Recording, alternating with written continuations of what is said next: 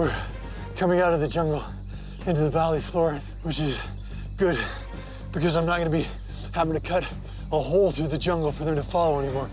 But it's gonna really expose me. This is a good place to put in a booby trap. I know these guys can't be far behind me. I gotta do anything to create some distance between me and them. I don't wanna hurt them. I just wanna let them know I'm there and that I mean business. So I've just measured how well this will fit around this smoke grenade. So this is how it's gonna work. The trigger is held in place. Nothing is in the way. This comes through. The trigger will come up and catch on the basket and pull this off of the grenade. Pull the pin, poof, poof. I have the smoke. They're delayed here. I know where they are. I'm just off from time.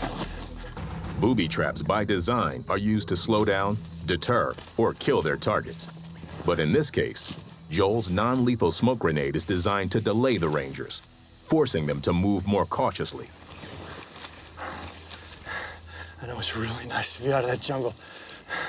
And this open area is gonna speed us up, but it also completely exposes us. We wanna minimize our exposure in the open area, and we wanna minimize our time exposed in the open area.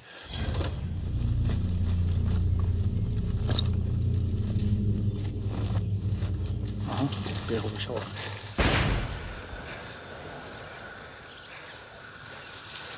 This is smoke.